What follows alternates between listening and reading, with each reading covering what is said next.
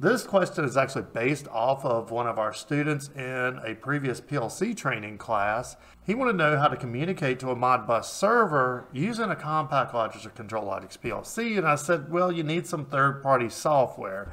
Let me see what I can pull together. And then I was surprised to find that Rockwell Automation had an add-on instruction to turn this into a Modbus client or a Modbus server. So that was a really exciting find. In our previous video, we configured our Micro 820 PLC as a Modbus server. Now I get the Modbus server and client names confused a lot, and this is hardly a networking class or probably the proper way to do it. But the way I think about it, if you know the numbers you need, so for example, in that previous video, we configured these Modbus mapping. So we now know these numbers right here. And we want to use our CompactLogix to look at them. Then this needs to be a client. And it's going to go look at what information this Micro 820 is serving up. So if you know your numbers and somebody's handed to them, you say, hey, here's what you need to go read, you need to be a Modbus client. If someone's like, hey, I think my thing can communicate over Modbus, if you give me some numbers, I can go look for them, then you need a Modbus server. Now, one other tidbit we probably need is the IP address that we set up this Micro 820 at. It is 192.168.114. And then we're going to go to Rockwell Automation Support Center. And I'm just going to type Modbus CompactLogix. And I was surprised because I knew, well, one, we can do RTU, we can do some serial, and then we could have some additional modules to communicate.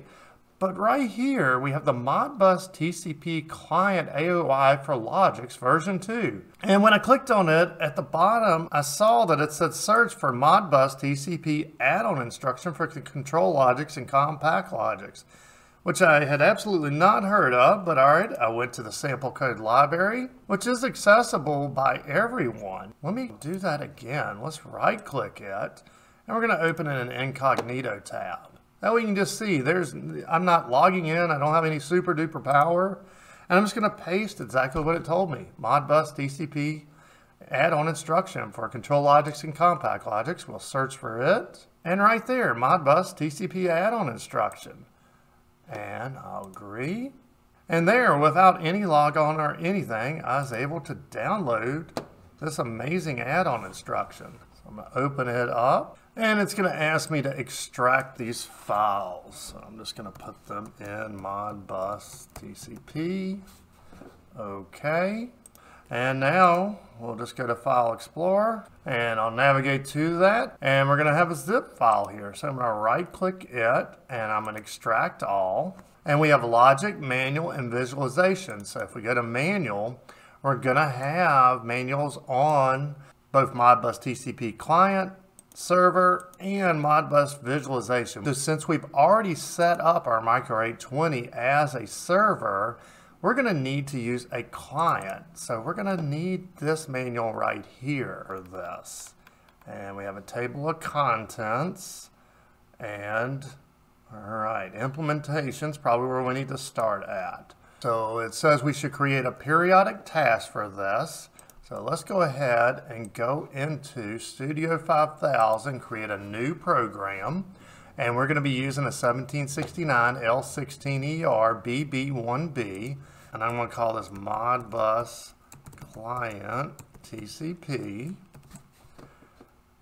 And we are going to have two expansion modules. Now this actually has nothing to do with our configuration, mainly right here on the side of our controller. You can see we have two expansion modules right now. So that's all that has to do with. And then typically when we're programming, we go ahead and we open up our main program and our main routine and we just start packing away. But what they're saying here is that we need to create a periodic task, or it's recommended. It says it's recommended to add AOIs into a periodic task with a rate of 10 milliseconds or higher. So, all right, we're going to create a 10 millisecond periodic task. So up here we have task and then we have main task. And this is a continuous task. If we'll right click task, we can create another task. And I'm going to call this my Modbus task. And it'll be a periodic, and okay, there we go. They said 10 milliseconds or slower. I'm just gonna throw it at 10 milliseconds because that's all we're gonna do in this video. And then inside of there, we're gonna need to add a new program. And we'll just call this our Modbus program. And finally, inside of that, we're gonna need to create a routine. So new routine, and we'll call this our Modbus routine. And there we go. We'll open this one up. In fact, I'm going to close this other one. You notice we have main program, main routine. We have Modbus program, Modbus routine. So I'm going to close this one out just so I don't get confused. And then we're going to look here and it says rung import and tag name changes. So now we need to do some importing. Okay, so we're going to import the TCP client. And okay, I don't see any need to change the file name. So let's go back to our program. So we're going to right click somewhere in our Modbus routine and we're going to import rungs. And we want to navigate into that logic folder that we extracted and we have our Modbus TCP client. So I'm going to bring that in and we'll just click OK. All right, I'm going to delete that extra rung out. And here is our Modbus client, and that just seemed incredibly easy to do. So what's it say to do next? Okay, if we wanted to change our names, we could, but now I'm going to leave them at client one because we're only doing one, but that's that make, looks pretty easy if we wanted to change it. And all right, Modbus TCP client requires Ethernet IP module, supports logic sockets. Okay, and we have that with our CompactLogix L16. And the first thing we need to do is configure our slot. And ours is going to stay at zero. It says right there for CompactLogix, we're going to leave it at zero. And then we need to specify a local address of the Ethernet IP module. And okay, if we had our CompactLogix in dual Ethernet IP mode, we would need to specify that, but it says we can leave this one blank. Now let me go over here and make sure we see where we're doing this because it says that's under reference connection. So right here, reference connection, we right click it and we monitor. And that's going to bring us here and we're going to open it up. And there is the slot zero, which we're going to leave for our CompactLogix. In fact, look at the documentation they have on this. They've done a really good job on it.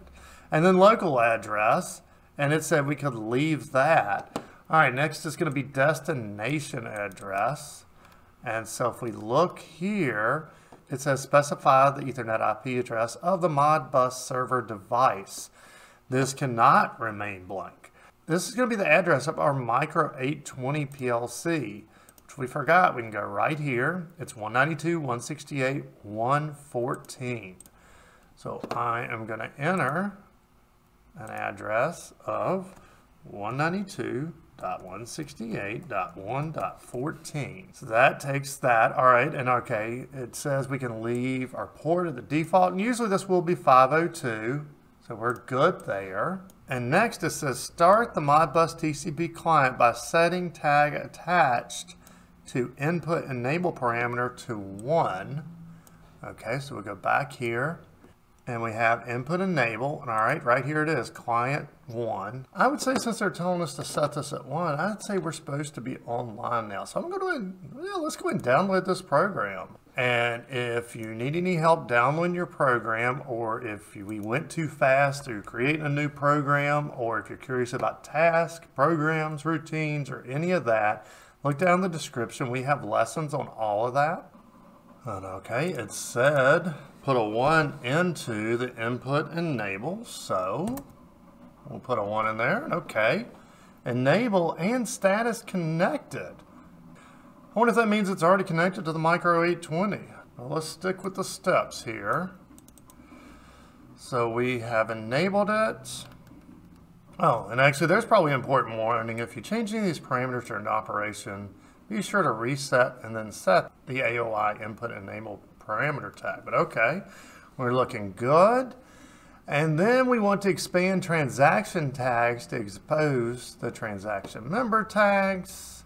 And okay, we have a poll interval that we need to set, or well, they're emphasizing. All right, right now it's on 1000. I think for what we're doing, that's going to be fine. And all right, they're saying a transaction type of three supported Modbus function codes. Let's just do a search for that.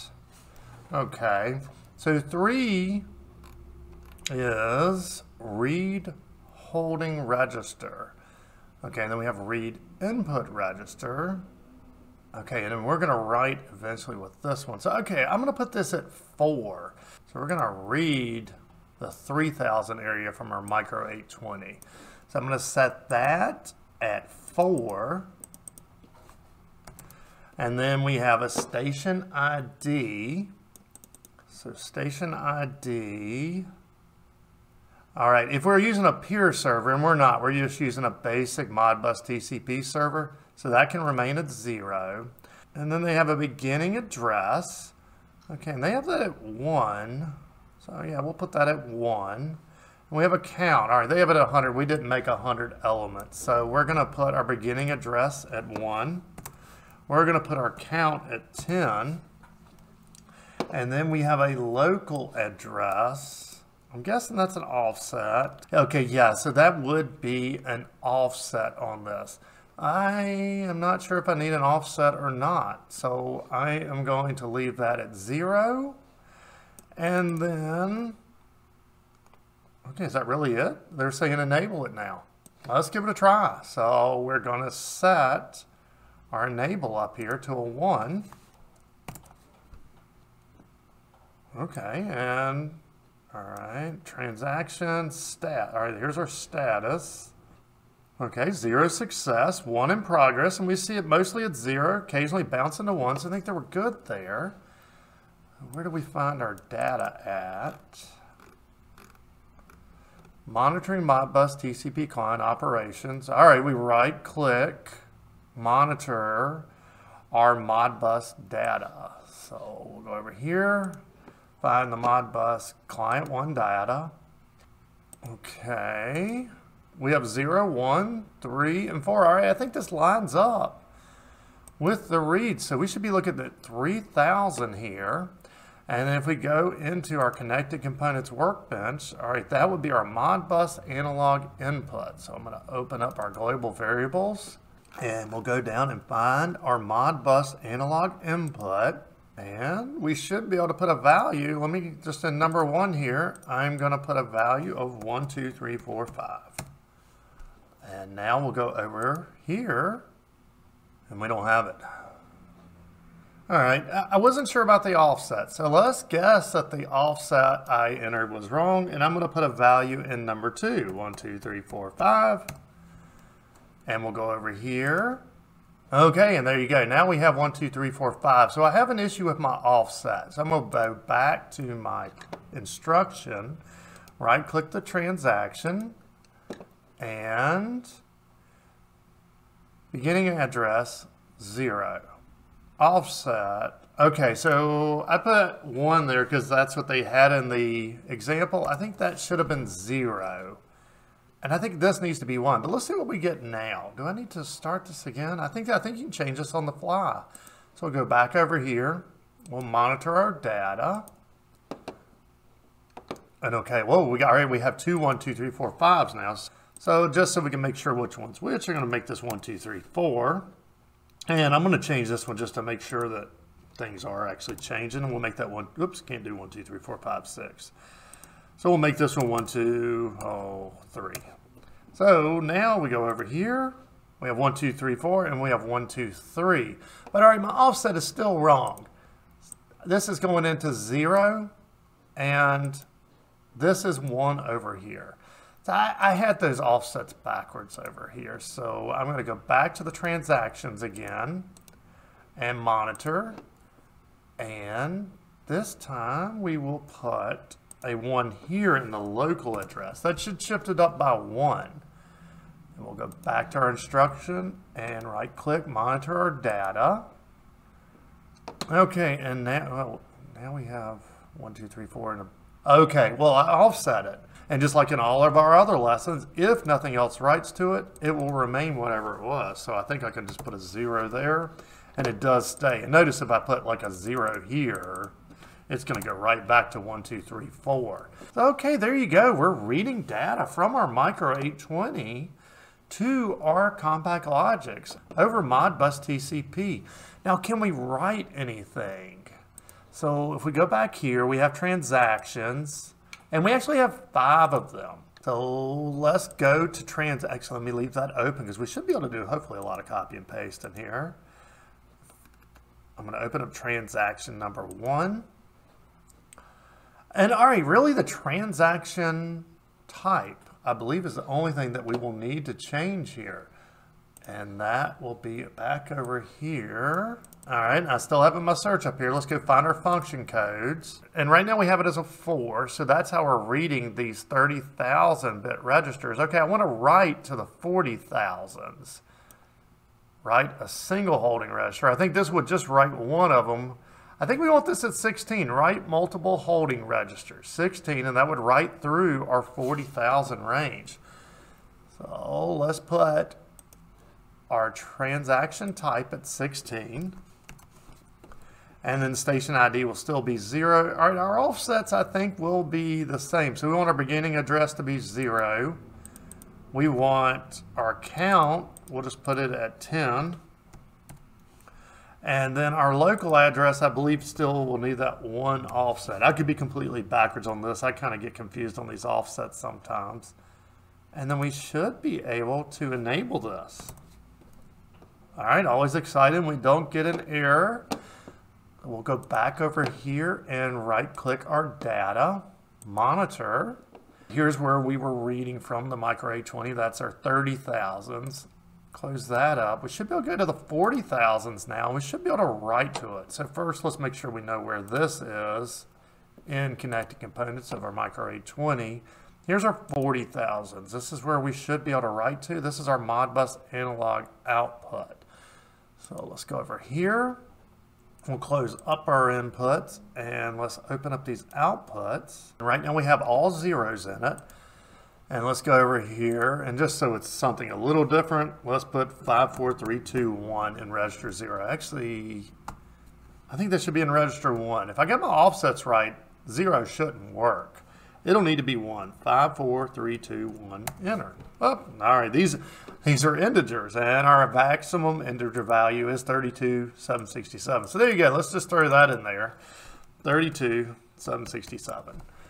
And now we'll go over to Connecting Components Workbench, and look at there. We got 32,767, and just to make sure the next one works, let's just put in 4321, and we go over here, 4321.